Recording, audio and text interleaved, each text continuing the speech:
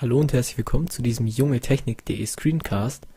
Wir zeigen euch in den nächsten Videos die Software Pixelmator. Pixelmator ist eine Photoshop-Alternative, die exklusiv für Mac entwickelt wurde.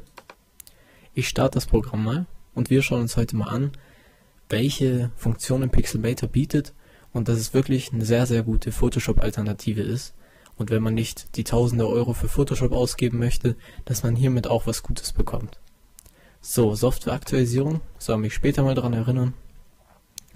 Und so begrüßt euch Pixelmator, wenn ihr es startet. Ihr könnt jetzt hier ein neues Bild gleich anlegen. Ihr könnt ein vorhandenes Bild öffnen und es dann editieren.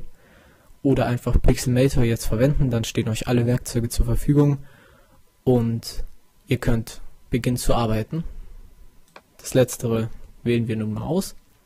Und ihr seht schon, ähnlich wie bei Photoshop oder GIMP haben wir hier nun einzelne Fenster mit verschiedenen Werkzeugen, Optionen, Pinsel, Farbfelder und hier auch das Ebenenmanagement.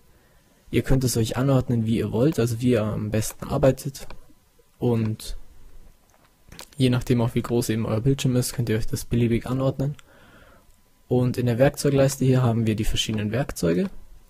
Wer schon mal mit GIMP oder Photoshop gearbeitet hat, wird die meisten Werkzeuge schon kennen. Wenn ich jetzt hier von einem Pinselwerkzeug oder Füllenwerkzeug oder Verlaufwerkzeug spreche, sollte eigentlich jeder schon mal was davon gehört haben. Aber wir schauen uns jetzt trotzdem mal genauer an, was die einzelnen Werkzeuge eigentlich machen. Dazu öffne ich mal ein neues Bild unter Ablage Neu. Die Größe ist es mal egal, wir können jetzt eingeben, eben wie groß das Bild ist und welche Auflösung es hat. Dann ziehe ich das noch ein bisschen größer. Und die weiße Fläche hier ist jetzt unser Bild. Jetzt können wir hier eben mit dem Pinselwerkzeug was malen.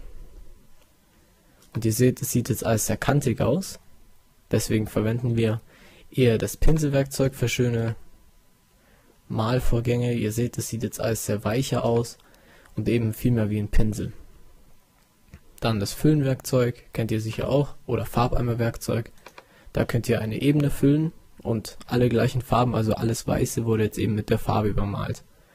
Wenn ihr eine andere Farbe wählen wollt, fahrt ihr hier runter zu Vordergrund- und Hintergrundfarbe, klickt es einmal an und hier bei dem Farbfeld könnt ihr nun eine Farbe auswählen. Es gibt hier auch viele Einstellungsmöglichkeiten, zum Beispiel mit Reglern, mit vorgefertigten Paletten, mit einem Spektrum oder einzelne Stifte auswählen oder auch Webcodes eingeben.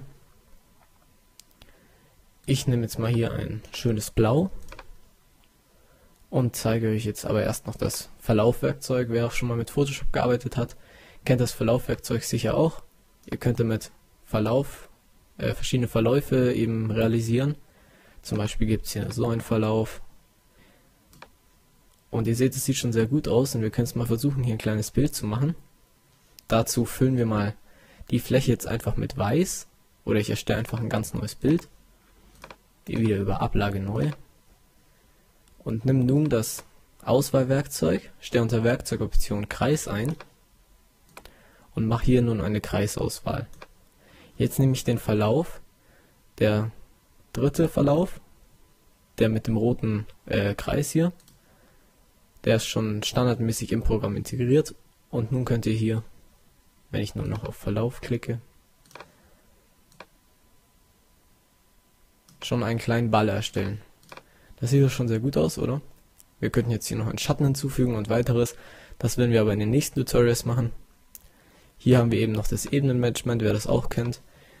Wir könnten jetzt noch kurz hier einen Text hinzufügen.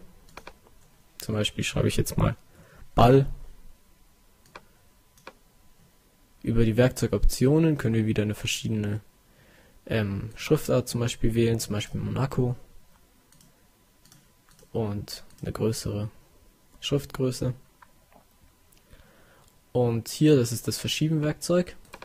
Mit dem können wir jetzt hier noch die Textebene verschieben und zum Beispiel jetzt hier auf den Ball die Schrift hinmachen.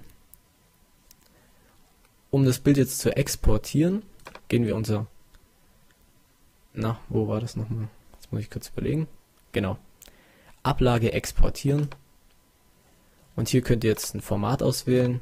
JPEG, PNG, TIFF, Photoshop-Datei können auch exportiert werden.